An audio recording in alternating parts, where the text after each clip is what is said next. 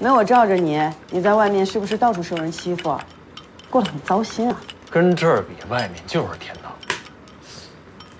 也不能这么说，反正只要有你在的地方，那就是地狱。黄思，他不仅品学兼优，而且文武双全。奶奶说他跟我是青梅竹马，可我却只盼着彻底摆脱这个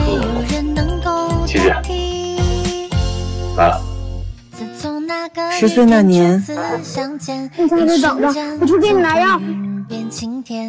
真是一个坚强而又温柔的孩子啊！大概是从那时起，我就把他当成了自己的家人。当时我害怕极了，脑子里只有一个念头：又做错，真笨。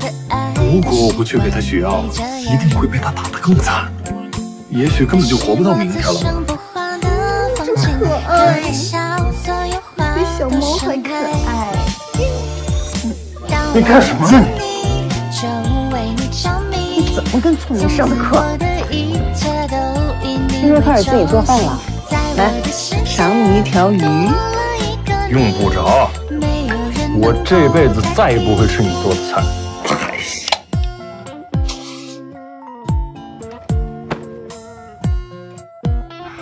怎么连热个菜都不会？这么好的菜，来不及吃多可惜。愣着干什么？过来搭把手。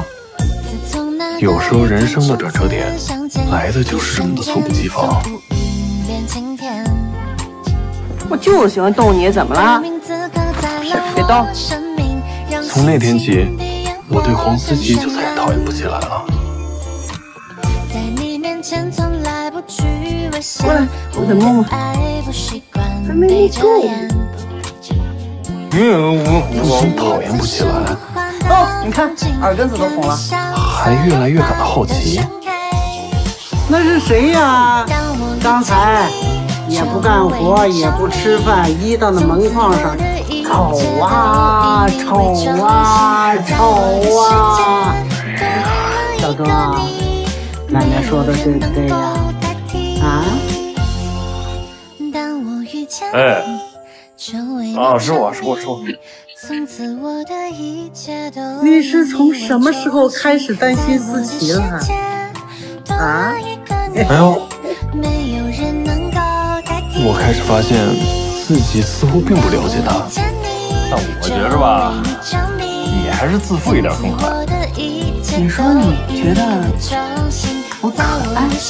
哎，你怎么又给我打电话？你我的脸，你的脸太不真实了。撞得动，你说这话可要负责任啊！